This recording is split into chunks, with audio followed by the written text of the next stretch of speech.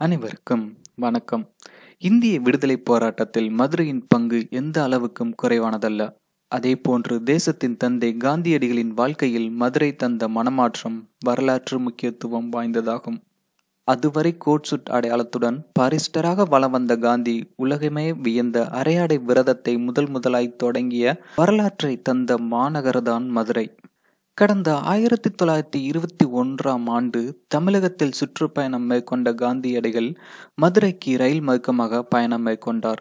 அப்பொழுது பழைய மதுரைக்கு உட்பட்ட திண்டுக்கல்லிலிருந்து தற்போதைய காந்தி கிராம கிராமிய பல்கலைக்கழகம் வழியாக பயணம் மேற்கொள்ளும் பொழுது தாம் அமர்ந்திருந்த பெட்டியின் ஜன்னலோரத்தில் அமர்ந்தவரை வயல்களில் உழைக்கும் கிராமத்து மனிதர்களை காணுகிறார்.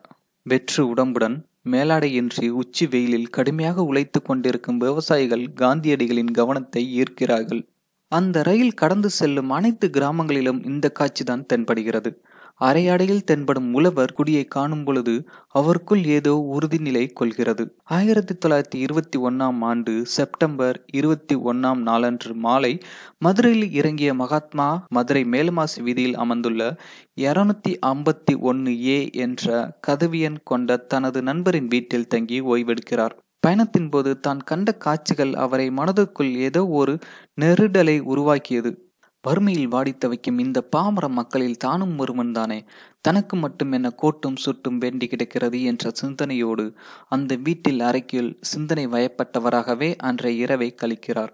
மறுநாள் காலையில் காந்தியடிகள் தங்கியிருந்த வீட்டின் முன்பாக அவரை காண்பதற்காக மதுரையே தவமாய் தவமிருந்து காத்து கிடக்கிறது. தங்கியிருந்த அறையின் முன்னர் ஊர் பெரிய மனிதர்களை எல்லாம் திரண்டிருக்கிறார்கள்.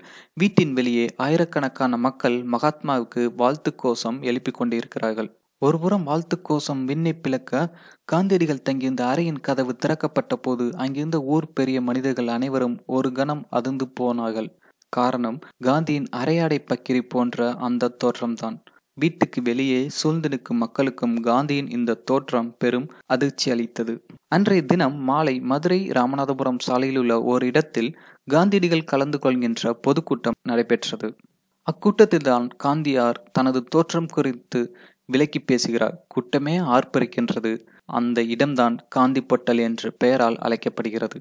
மதுரை என்றவுடன் பல்வேறு நிகழ்வுகளும் நினைவுகளும் வரலாற்று சம்பவங்களும் எப்படி நம் நினைவில் வந்து செல்லுமோ அதே போலவே நம் தேசப்பிதா காந்தியடிகளின் அரையாடை விரதமும் கண்டிப்பாக நினைவில் வந்து செல்லும்.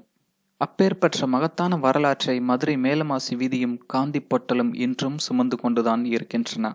ஆனால் எந்தவித சலனமுமின்றி இப்பகுதிகளை மதுரை மக்கள் இப்போதும் கடந்து சென்று கொண்டே இருக்கிறார்கள். நன்றி. இதுபோன்ற வீடியோக்களை பெற சப்ஸ்கிரைப் செய்யவும்.